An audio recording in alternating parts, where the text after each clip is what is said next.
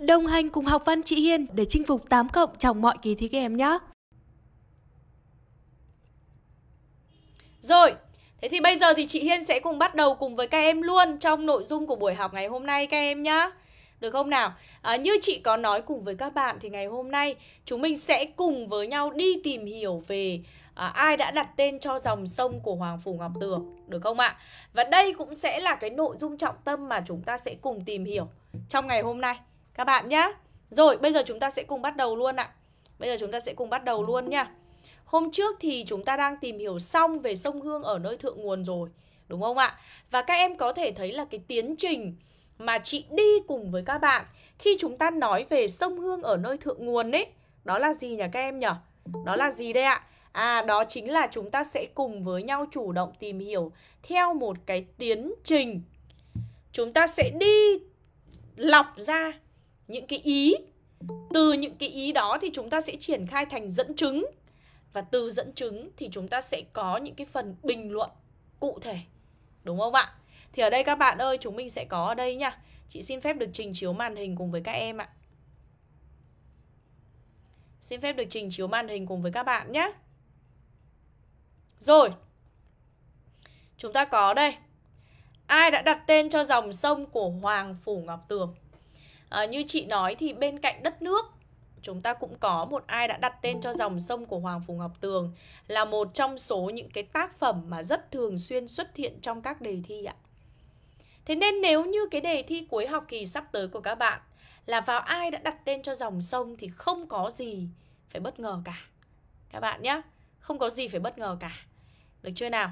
Một vài nét về Hoàng Phủ Ngọc Tường Hôm trước chị đã nhắc nhớ với các bạn rồi Chúng ta sẽ có những cái cụm từ Những cái từ khóa như là xứ Huế này Hiểu biết sâu rộng về nhiều lĩnh vực khác nhau này Thể loại sở trường là bút ký này Đúng không ạ? Và sau đấy thì chúng ta cũng đã biết cái cách để diễn đạt, để triển khai Đúng không nào? Chúng ta cũng đã biết cái cách diễn đạt, cái cách để triển khai Những cái nội dung mặc dù nha Là thông tin chúng ta nắm được rất là ngắn nhưng bằng một cách nào đó thì chúng ta cũng có thể thấy được rằng là gì ạ? Mặc dù là thông tin ngắn nhưng chúng ta vẫn biết cách để chúng ta triển khai. Và ở buổi ngày hôm trước thì các bạn có thể thấy là chúng ta đã học xong về sông Hương ở nơi thượng nguồn rồi ạ. Đúng không nào? Các bạn ơi, chúng mình sẽ cùng nhắc lại nhé. Sông Hương ở nơi thượng nguồn thì chúng ta sẽ chia thành 4 ý. Ý thứ nhất, đó là gì ạ? Đó chính là sông Hương à, khi mà ở cái nơi xuất phát điểm của nó thì nó sẽ là một cái con sông như thế nào nhỉ? Nó sẽ là một cái con sông à, được ví như bản trường ca của rừng già. Đúng không ạ? Ý thứ hai là sông Hương giống như một cô gái di gan phóng khoáng và man dại.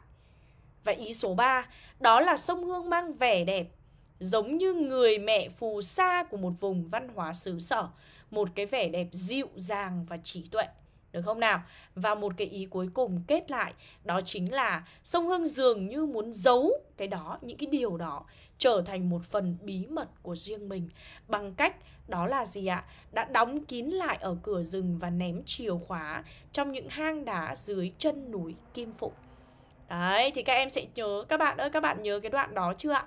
Thế thì bây giờ chúng ta sẽ cùng đến với đoạn 2 nhá. Đó là sông Hương nơi ngoại vi nhá. Ok chưa nào? Đây ạ, à, sông Hương nơi ngoại vi Lại mở sách giáo khoa ra thôi. Nhá Lại mở sách giáo khoa ra thôi ạ. À.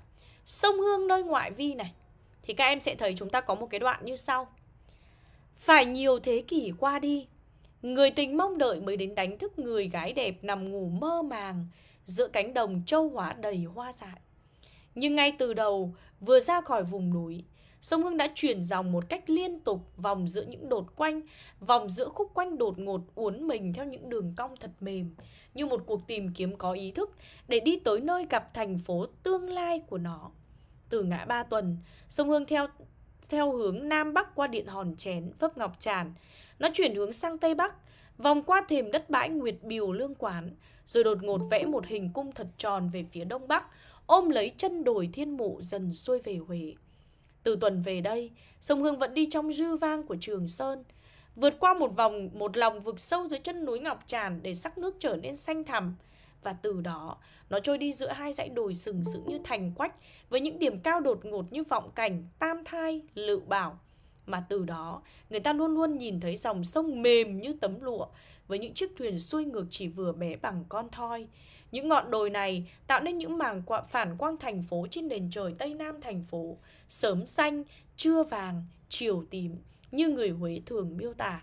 Giữa đám quần sơn lô xô ấy là giấc ngủ nghìn năm của những vua chúa được phong kín trong những rừng thông u tịch và niềm kiêu hãnh âm u của những lăng tầm đồ sộ tỏa lan khắp cả một vùng thượng lưu, bốn bề, núi phủ mây phong, mảnh trăng thiên cổ bóng tùng vạn niên. Đó là vẻ đẹp trầm mặc nhất của sông Hương, như triết lý, như cổ thi, kéo dài mãi đến lúc mặt nước phẳng lặng của nó gặp tiếng chuông chùa thiên mụ, ngân nga tận bờ bên kia, giữa những xóm làng trung du, bát ngát tiếng gà. À, thế thì các em ơi, các bạn có thể thấy đó là cái phần chúng ta có nội dung đoạn 2 đấy ạ. Và như chị đã nói, thì bản chất cái cách phân tích của chúng ta đối với một cái tác phẩm ký vẫn là gì ạ? Vẫn là chúng ta sẽ phải chia những cái dẫn chứng ra thôi. Vẫn phải gạch ý ra thôi. Và đương nhiên các bạn cũng biết được rằng là đối với cái việc mà chúng ta gạch ý ở đây á thì một trong những cái điều rất là quan trọng chúng ta cần phải để ý đó là gì nhỉ các bạn nhỉ?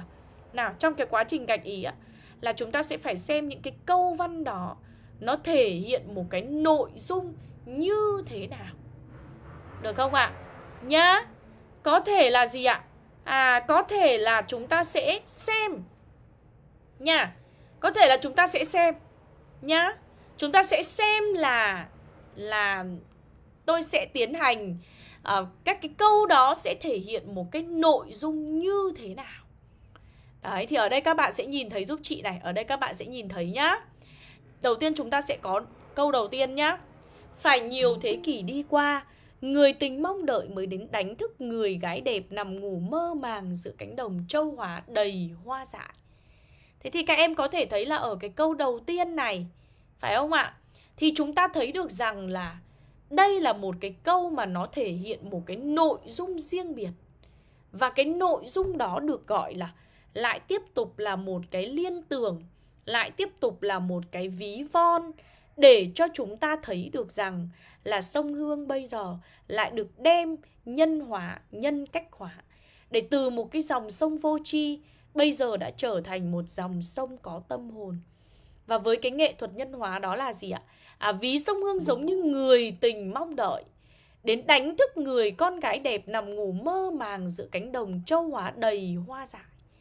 Thì ở đây chúng ta có thể thấy được rằng là dường như vẻ đẹp của sông Hương khi trôi qua cánh đồng châu hỏa lúc bấy giờ được ví von giống như là gì là người con gái đẹp nằm ngủ mơ màng giữa cánh đồng châu hỏa đầy hoa dại thì chúng ta có thể thấy đó là một cái hình ảnh, là một cái liên tưởng mà rất dễ dàng để có thể dẫn dắt chúng ta tới với một cái liên tưởng đó là gì ạ? Đó chính là người con gái đẹp nằm ngủ mơ màng. Một cái một cái hình ảnh mà cho chúng ta thấy gì nhỉ? À cho chúng ta thấy được rằng là ở đó nó giống như là gợi nhắc về cái vẻ đẹp của một câu chuyện cổ tích ạ. Được không nào?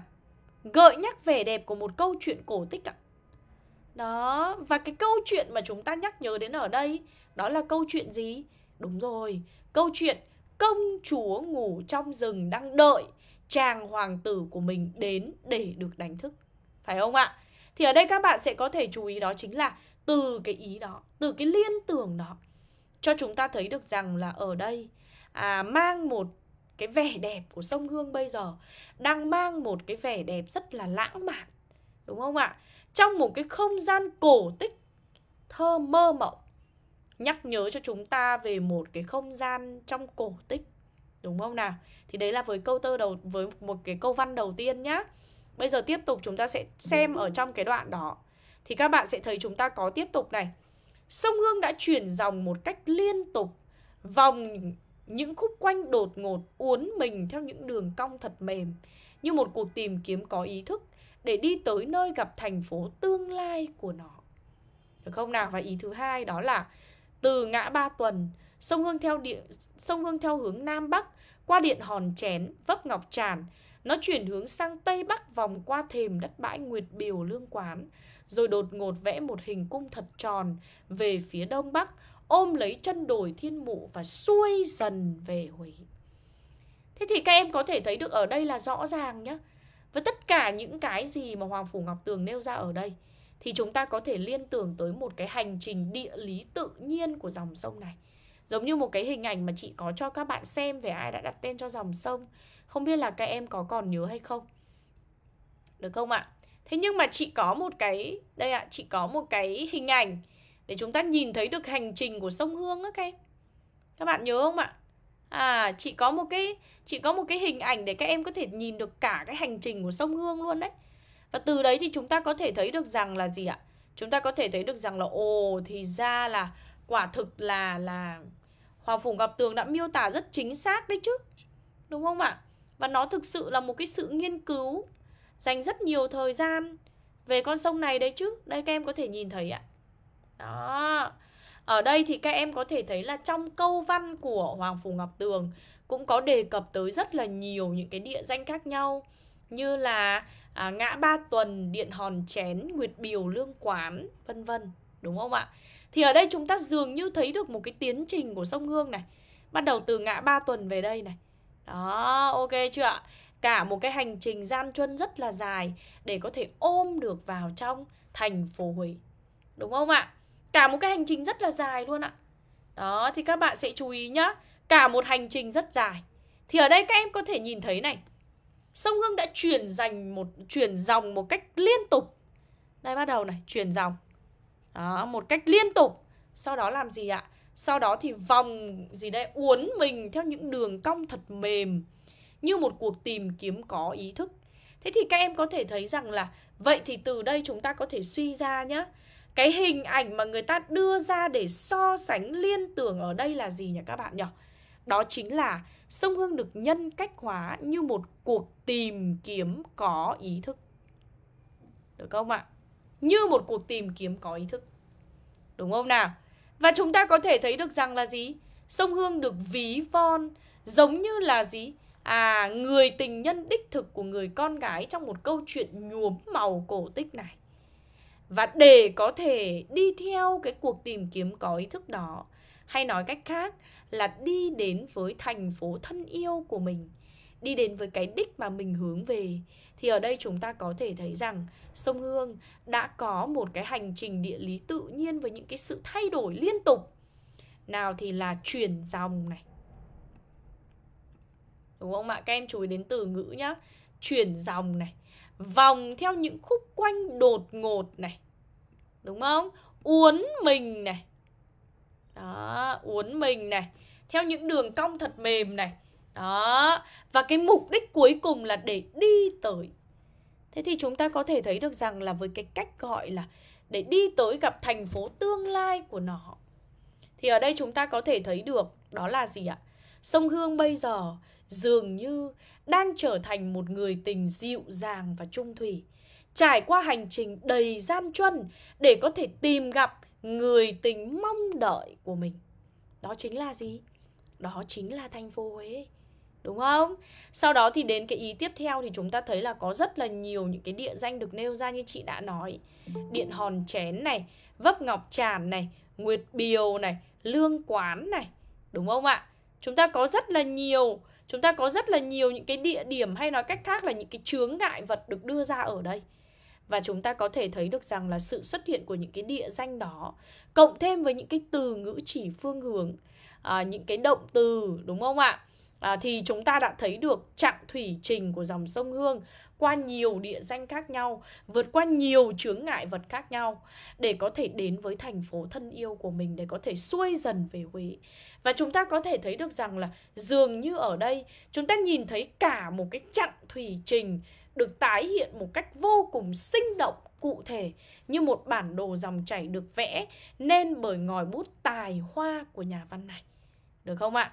Thì các bạn sẽ chú ý giúp cho chị là như vậy nhá Đấy là ý số 2 Vậy thì các em thấy này, Ý thứ nhất sẽ là gì? Người con gái đẹp nằm ngủ mơ màng Ý thứ hai sẽ là gì? Sẽ là cuộc tìm kiếm có ý thức cái cách học ký là như vậy ạ Các bạn nên chủ động để cho chúng ta có được một cái ghi nhớ nó rõ ràng Được không nào? Bởi vì khi chúng ta ghi nhớ được rõ ràng thì chắc chắn rằng là bản thân các bạn cũng sẽ thấy được là gì ạ? Chúng ta thấy được là chúng ta sẽ dễ nhớ Giống như chị nhắc đấy Sông Hương ở nơi thượng nguồn đấy Đúng không? Đầu tiên là gì nhỉ các bạn nhỉ? Sông Hương nơi thượng nguồn đấy, đầu tiên là gì? Là bản trường ca này, là cô gái Di Gan này, là người mẹ phù sa của vùng văn hóa xứ sở này. Thế bây giờ đến sông Hương khi mà trôi về đồng bằng châu thổ thì trước tiên là gì? À người tình mong đợi này. Cái thứ hai là gì ạ? À cái thứ hai là à với một cái cuộc tìm kiếm có ý thức này. Ok chưa nào? Thì các em sẽ chú ý giúp cho chị là như vậy nhá. Sau đó chúng ta tiếp tục có nội dung. Nó trôi đi giữa những nó trôi đi giữa hai dãy đồi sừng sững với những điểm cao đột ngột như là vọng cảnh tam thai lựu bảo mà từ đó người ta luôn nhìn thấy dòng sông mềm như tấm lụa với những chiếc thuyền xuôi ngược chỉ bé bằng con thoi. Thế thì các em ơi, các em có thể thấy là bây giờ dường như chúng ta đã có một cái sự thay đổi về điểm nhìn rồi nhá. Được không ạ? Và cái sự thay đổi về điểm nhìn này có nghĩa là bây giờ chúng ta đang nhìn dòng sông này từ trên cao ạ. Được không nào? Chúng ta đang nhìn dòng sông này từ trên cao ạ. Đúng không ạ? Thì các bạn có thể thấy ở đây là chúng ta có thể thấy được rằng là khi mà quan sát dòng sông này trôi đi giữa hai dãy đồi sừng sững với những điểm cao đột ngột như vọng cảnh, đúng không nào? Thì bây giờ tôi lại nhìn thấy dòng sông mềm như tấm lụa. Vậy là cái ý tiếp theo sẽ là gì? Sẽ là tấm lụa, đúng không ạ? Mà chắc hẳn rằng khi mà các bạn ơi, các em mà nhắc tới tấm lụa ấy thì chắc chắn là các em cũng biết được rằng nó sẽ mang một cái vẻ đẹp nó rất là mềm mại, nó rất là óng ả, nó rất là rực rỡ. Và dường như nha, nếu như mà chúng ta có thể vẽ được một cái bức tranh á thì các em sẽ thấy là tôi sẽ thấy được một cái vẻ đẹp với cái sắc nước xanh thẳm, dòng sông Hương đã trở thành cái tấm lụa xanh khi mà chúng ta nhìn từ trên cao xuống. Đây, ví dụ nhé. Sông Hương Nhìn từ trên cao xuống đi ạ Các em nhìn thấy không ạ? Đúng là tấm lụa xanh không ạ? Không có nói ngoa một chút nào đâu ạ Đây ạ Có phải là tấm lụa xanh không ạ? Thấy không ạ? Vắt qua những cái biển bãi, Đúng không? Vắt qua những đồi núi Trời ơi đẹp một cách mơ mộng luôn đấy các bạn ạ Và quả thực khi mà chúng ta nhìn thấy Cái dòng sông này mà chúng ta nhìn thấy từ trên cao Thì quả thực nó phải nói một cái câu là rất là đẹp luôn đấy ạ Thực sự rất là đẹp ạ Được không nào? Thực sự rất là đẹp ạ Đây thì ở đây các bạn có thể nhìn thấy này Nhìn từ trên cao này, sông Hương này Có phải đúng là một cái dải lụa xanh vắt không ạ? Vắt qua đồi núi không ạ? Đó, thì các em sẽ chú ý giúp cho chị nhá Được không nào? Đó, một tấm lụa xanh Vắt dựng những dãy đồi thành quách cổ kính của xứ Huế Được không ạ? Đấy là ý thứ tiếp theo Và ý một ý nữa Đó chính là gì ạ? Đó chính là trên dòng sông lúc bấy giờ vẫn là một cái điểm nhìn từ trên cao thì chúng ta sẽ thấy được hình ảnh của những thuyền xuôi, thuyền ngược chỉ bé vừa bằng con thoi thôi ạ. Được không nào? Thuyền xuôi, thuyền ngược chỉ bé bằng con thoi. Có nghĩa là chúng ta thấy được một cái khung cảnh nó rất là nhộn nhịp. À, các em có biết con thoi là gì không ạ?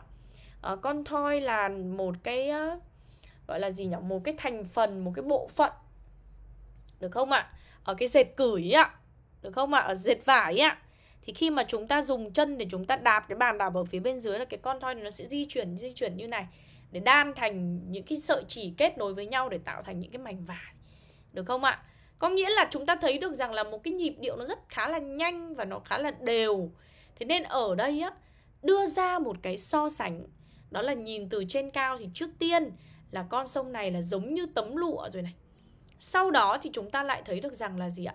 À chúng ta lại thấy là gì ạ? À, thuyền xuôi, thuyền ngược chỉ bé vừa bằng con thoi để diễn tả một cái khung cảnh nhộn nhịp sinh hoạt đời thường của người dân xứ Huế trên dòng sông Hương. Được không nào? Và chúng ta cũng có thể thấy ở đây ý tiếp theo đó là sông Hương vẫn đi trong dư vang của Trường Sơn vượt qua một lòng vực sâu dưới chân núi Ngọc Tràn để sắc nước trở nên xanh thẳm. Chúng ta phải chú ý đến từ ngữ ạ. Ở đây chúng ta có tính từ xanh thẳm Thế thì xanh thẳm là gì? À, xanh thẳm là cái sắc nước xanh trong, có chiều sâu. Sắc nước phản chiếu được không gian hai bên của thủy trình. Giống như kiểu là mình có thể soi gương được luôn đấy ạ. Đúng không nào? Và lòng vực sâu dưới chân núi Ngọc Tràn.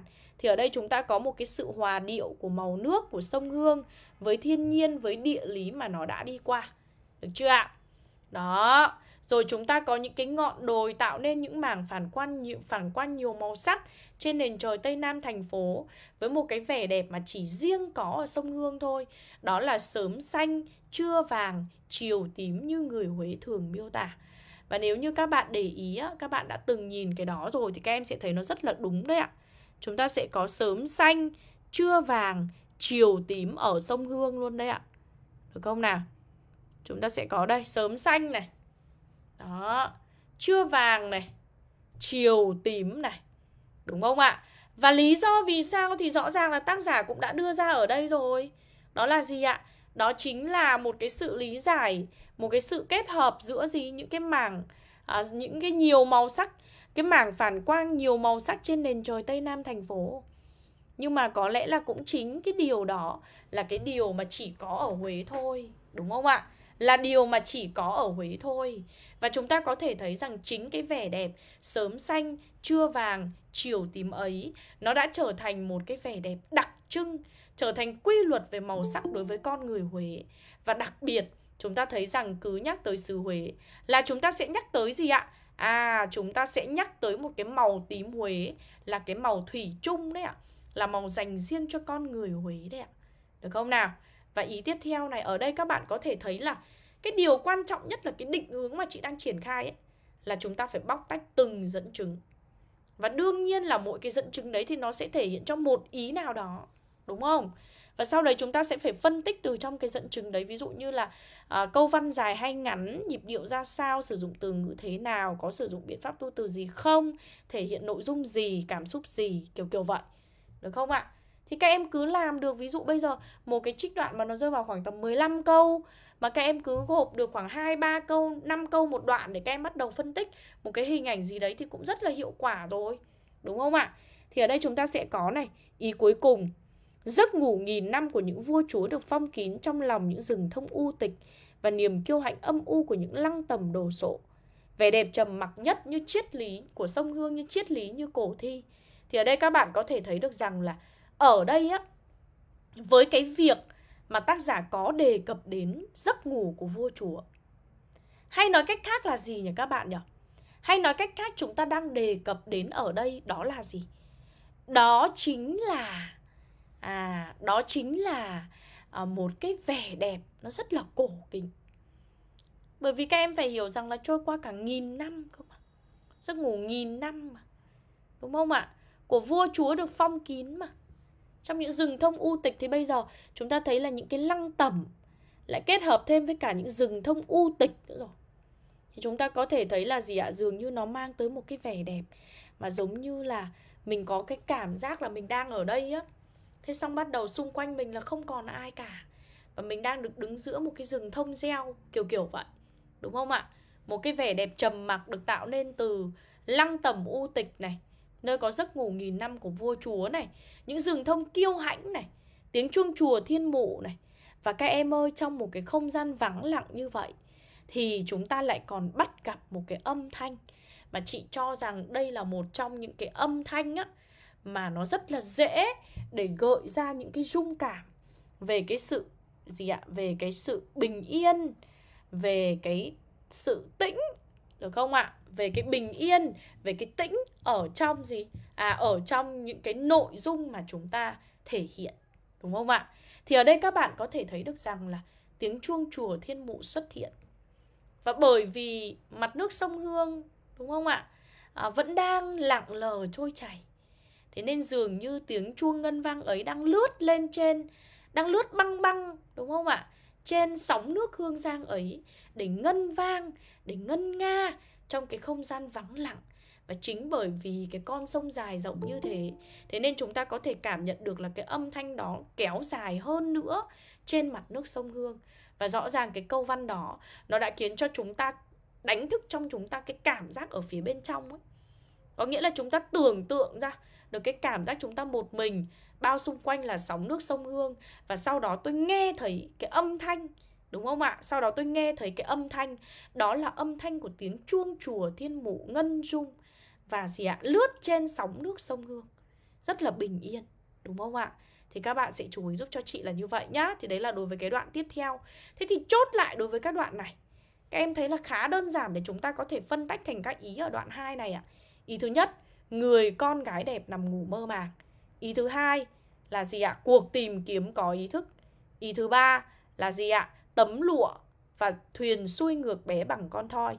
Ý thứ tư, vượt qua gì ạ? Đi trong dư vang của Trường Sơn. Đúng không ạ? Ý thứ năm, vẻ đẹp sớm xanh trưa vàng chiều tìm. Và ý thứ sáu, đó là hình ảnh sông Hương khi mà đi qua à, những cái lăng tầm u tịch nơi mà phong kín cái giấc ngủ ngàn năm của vua chúa.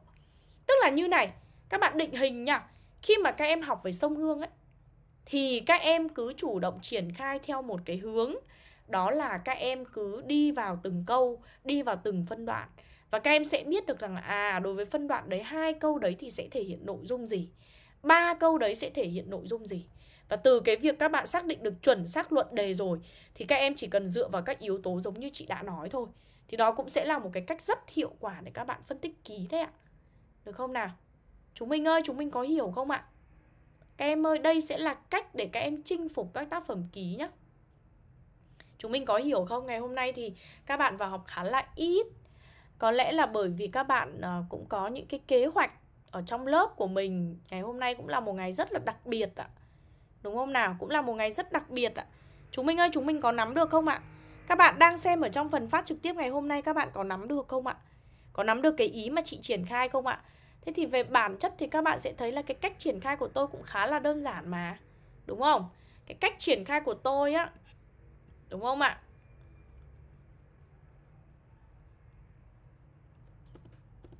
Cách triển khai thì vẫn sẽ là tôi sẽ có luận đề. Dẫn chứng. Hay gọi là ý đi ạ. Được không ạ? Dẫn chứng. Được không? Ok chưa? Luận đề ý sau đó dẫn chứng. Sau đó vào cái gì ạ? À sau đó vào gì đây ạ? Bình luận. Nha. Ok chưa ạ? Đương nhiên là mình có thể uh, thay đổi linh hoạt nhá. Hãy nhớ mình có thể thay đổi linh hoạt. Bình luận. Đó, ok chưa? Thì các em sẽ để ý ở đây giúp cho chị là thường cái luận đề này thì sẽ bao gồm các câu văn này. Đúng không? Bao gồm ý của các câu văn đó. Dẫn chứng ở đây thì sẽ là các câu văn.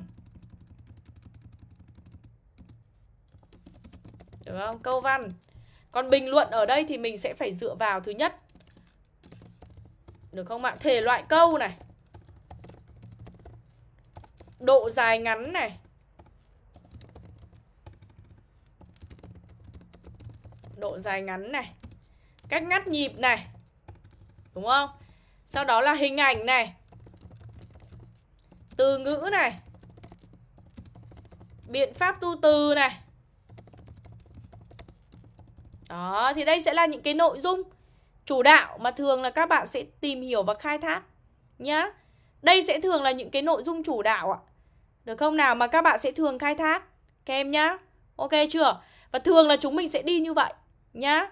Rồi, chị cảm ơn Phương Anh, chị cảm ơn Long Hưng, chị cảm ơn các bạn vì đã gửi lời chúc tới chị ạ. Các em ơi, các bạn có hiểu cái ý đó không ạ? Giống như vậy, tương ứng tương tự như vậy thì mình có thể áp luôn cái cách đó vào để mình tiến hành phân tích đấy. Ví dụ sông Hương nơi thượng nguồn các em bắt đầu viết luôn đúng không? À, với trích đoạn này, Hoàng Phủ Ngọc Tường đã cho bạn đọc thấy được vẻ đẹp của sông Hương nơi thượng nguồn. Ông đã bắt đầu những trang văn của mình bằng được không ạ? À? Bắt đầu trích ra. Trước khi về đến vùng châu thổ êm đềm nó đã là một bản trường ca của rừng già chấm đến đây thôi. Một lát nữa lại trích tiếp. Trích thành ý nhỏ thôi nhá. Thế xong một lát nữa lại trích tiếp Xong bắt đầu phải làm rõ cái ý đó luôn Được không ạ? Bằng việc sử dụng nghệ thuật so sánh. Hoàng Phủ Ngọc Tường đã thổi hồn cho con sông Hương Từ một dòng sông vô tri Nay trở thành một bản trường ca của rừng già Với nhiều cung bậc giai điệu phong phú. Bắt đầu. Đấy, được không ạ? Đó là giai điệu rầm rộ Một sự mạnh mẽ, khỏe khoắn và gấp gáp. Đó là giai điệu mãnh liệt cuộn xoáy Một giai điệu dồn dập nhanh và kéo dài. Bên cạnh đó Chúng ta cũng không thể thiếu đi được những cung bậc dịu dàng và say đắm. Một giai điệu nhẹ nhàng tha thiết ngân vang đã được tái hiện trong một câu văn rất dài với những bước đi đúng không ạ? Dồn dập gấp gáp nhưng sau đó cũng nhanh chóng lan tỏa duỗi ra để cho thể hiện được một cái vẻ đẹp vừa đối lập đúng không ạ? Nhưng cũng rất là à, thể hiện được một cái vẻ đẹp rất là độc đáo của con sông này. Kiểu kiểu vậy. Được không ạ? Thì các bạn sẽ chú ý giúp cho chị là như thế nhá đấy cái cách chúng ta triển khai là như thế đấy ạ. Khi mà các em đã có được cái này rồi thì chị nghĩ là cái việc phân tích với các em nó quá easy đi. Thực sự đấy nó khá là đơn giản rồi nó đơn giản đi rất nhiều rồi. Bởi vì bản chất là một bên các em có dẫn chứng và một bên là em có bình luận luôn mà đúng không? Một bên em có dẫn chứng và một bên là em có bình luận. Vì thế không có lý do gì mà em lại không viết được. Các bạn nhá. Các em ơi các em có hiểu không ạ và chúng mình ơi trong buổi ngày hôm nay thì chị muốn là sẽ dành thời gian nhiều hơn cho các em để các em sẽ có thể được giải đáp những cái băn khoăn thắc mắc của các bạn khi các bạn học ký ạ Đấy, thế nên chị cũng rất hy vọng là sẽ có thể có thêm nhiều những cái câu hỏi các bạn được đặt ra trong buổi ngày hôm nay. Các em nhá Được không nào, được không nào? Ok không ạ?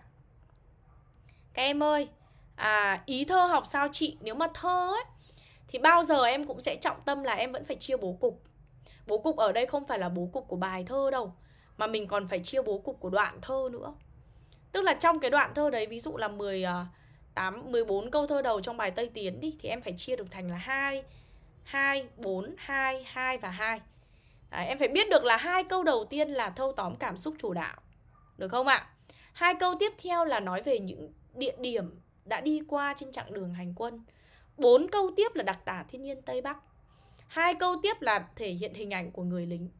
Hai câu tiếp là thể hiện cái sự đe dọa thường trực và hai câu cuối cùng là tình quân dân.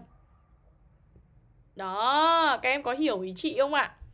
Các em phải nhớ được đến mức như thế Thế sau khi mà các em chia được ra như thế rồi Thì bắt đầu các bạn lại bám vào Những cái liên quan tới hình ảnh này à, Từ ngữ này, biện pháp tu từ này Được chưa ạ?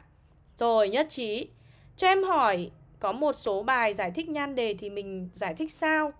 Bản chất là đề bài, đề thi Trung học Phổ thông Quốc gia Thì không có yêu cầu em giải thích nhan đề đâu ạ. Chỉ là đấy là cái kiến thức cung cấp thêm để em vận dụng làm sao em linh hoạt, em đưa vào bài viết nếu em cảm thấy cần thôi. Còn về bản chất không có ai yêu cầu em phải giải thích nhan đề cả. Em nhá.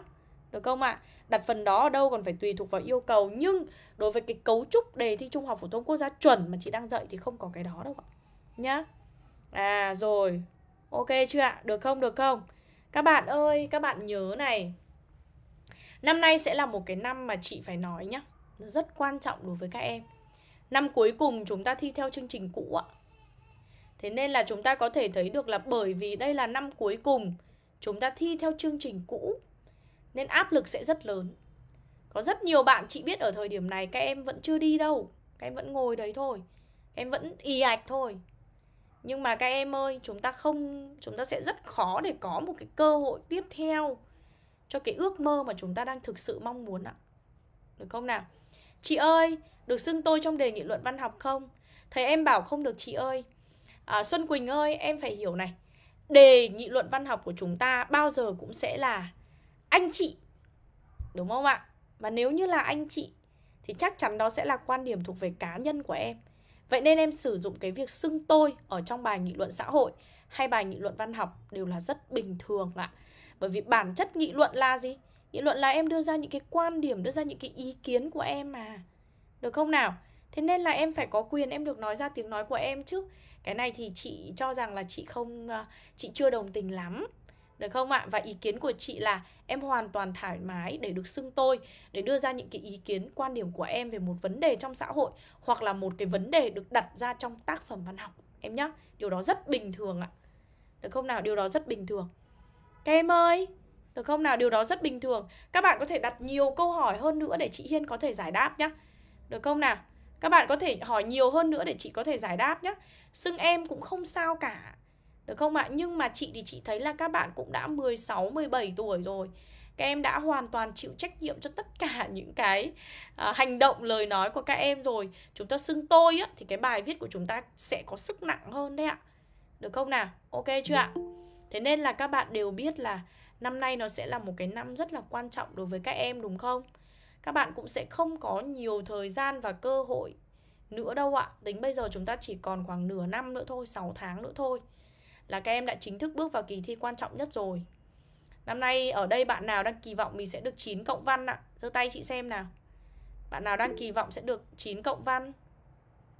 Có Hiếu này Có Xuân Quỳnh này à, Ngọc Nhi này, Hồng Xuân này, anh Ngọc này, Gia Hân này Anh Thư Thư Dương này Hương Giang này.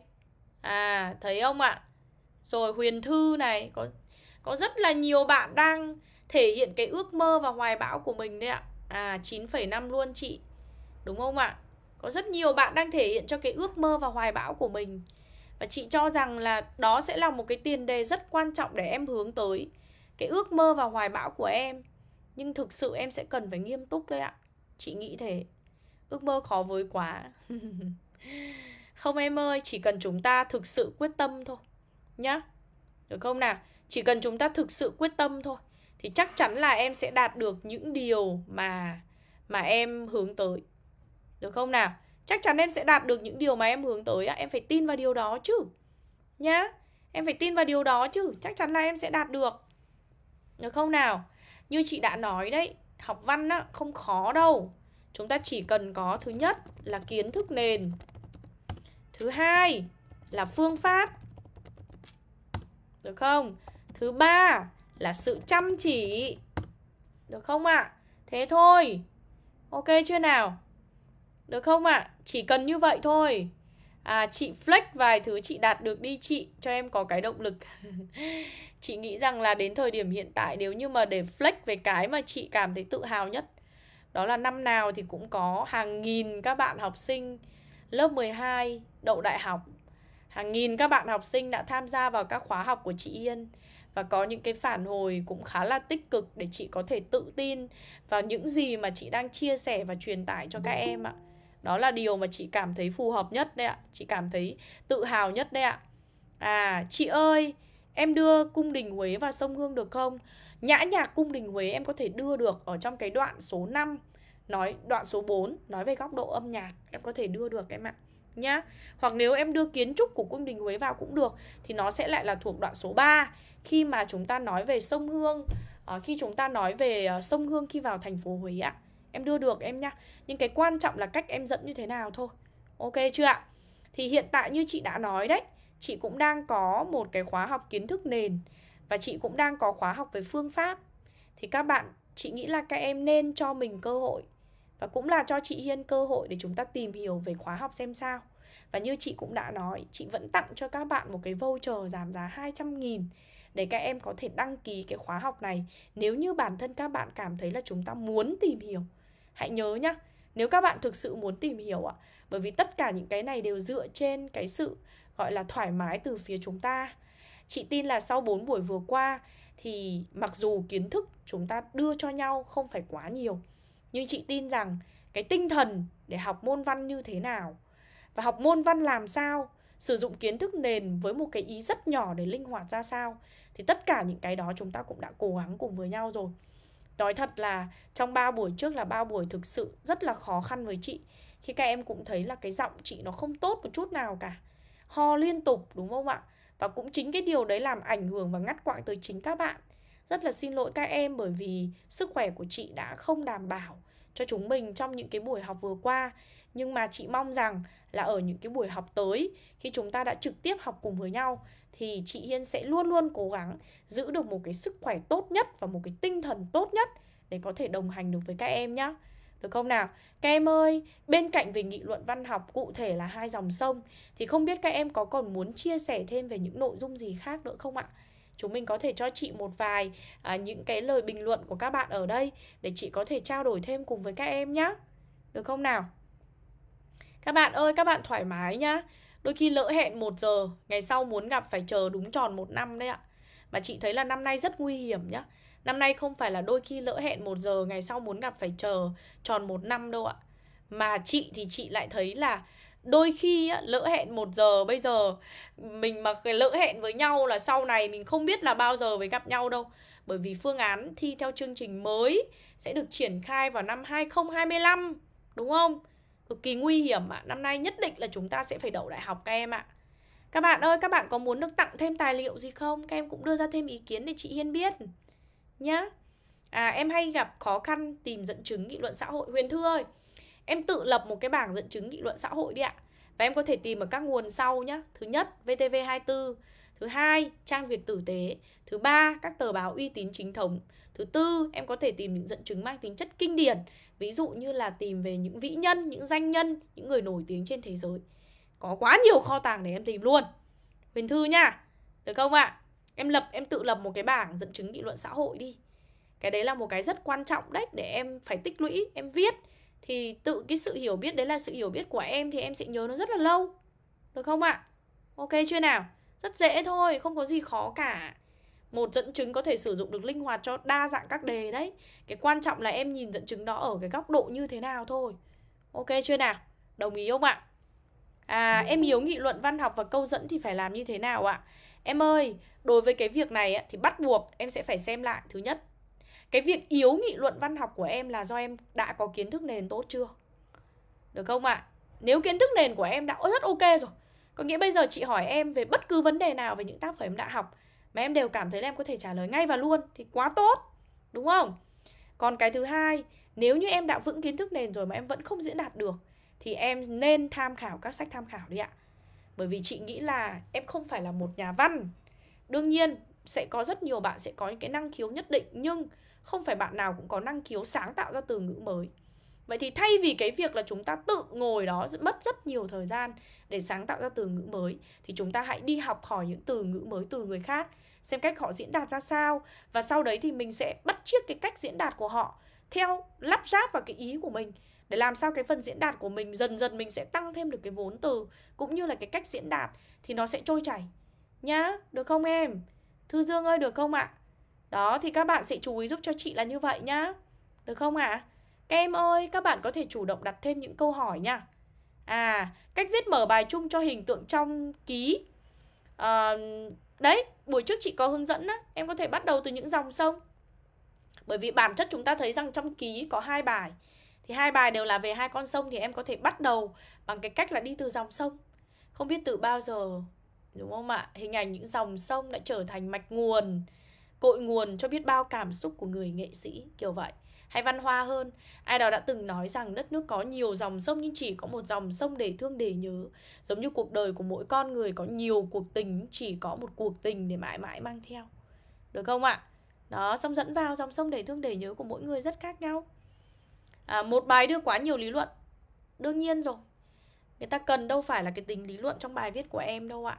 Nó chỉ là một phần thôi ạ. Cái quan trọng nhất em vẫn phải bám sát đúng đủ cho chị về kiến thức trước đã sau đấy làm như thế nào? Linh hoạt cái phần mở rộng lý luận mọi thứ ra sao thì mình mình sẽ tính tiếp, nhá. Được không ạ? Cái quan trọng là phải đúng đủ trước khi sâu hay em ạ, nhá. Được không ạ? Trong khóa học VIP 12 em sẽ được học những gì?